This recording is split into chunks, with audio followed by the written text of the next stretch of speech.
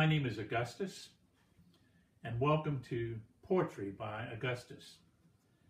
Uh, first of all, uh, I'm not a uh, an artist. Uh, this is simply a disguise. I um, created this this uh, four by eight uh, piece of plywood with lots of colors, simply to serve as a backdrop for this poem that I'd like to recite. About uh, oh, 30 years ago, I did take some art classes, but I was more fascinated with, with the colors that artists get to use. Growing up, we're, we're familiar with greens and reds and blues, but artists get to use colors with fascinating names like uh, yellow ochre, um, crimson, vermilion. Um, so a poem began to formulate in my mind back then. And recently I, I revised it and uh, thought I'd share it with you today.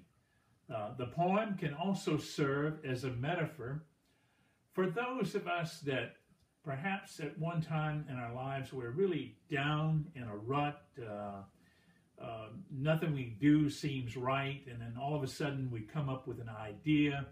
That idea uh, comes into fruition. We achieve a certain amount of success uh, because of our enthusiasm and perhaps some no notoriety as, as well. The poem is entitled Color Master. Colors in a wasteland, a palette rainbows mock, barren cracked riverbeds, rivulets of burnt sand and brown rot.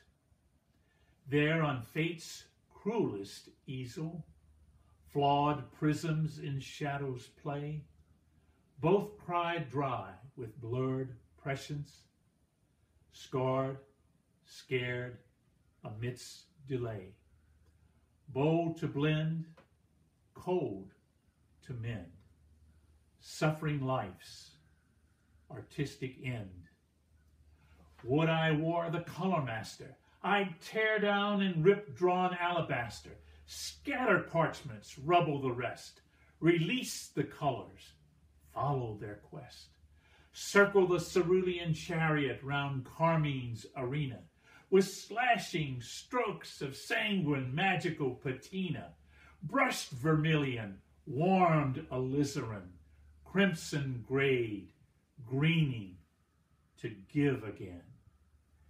And I, mastered by color, framed in velvet indigo, live again, dream again.